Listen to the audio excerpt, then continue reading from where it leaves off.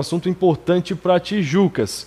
Nesta segunda-feira será apresentado o projeto da nova Avenida Ercílio Luz, que promete uma grande revitalização em toda essa via, que é uma das principais do município.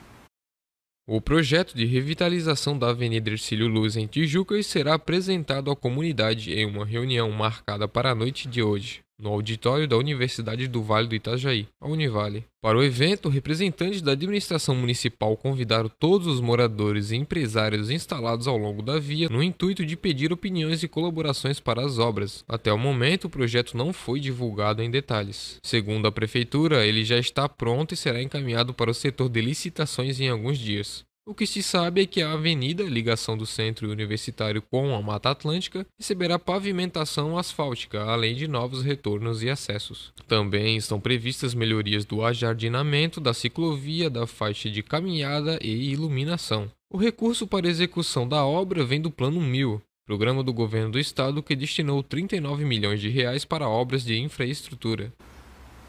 Tá aí, ó, importante obra para o município de Tijucas, hoje sendo apresentada à comunidade. Participe às 7 da noite, lá no auditório da Univale, aqui em Tijucas, na rua Coronel Isidoro. Então a comunidade toda está convidada para ir acompanhar esse projeto e, de certa forma, também opinar e participar junto à administração municipal.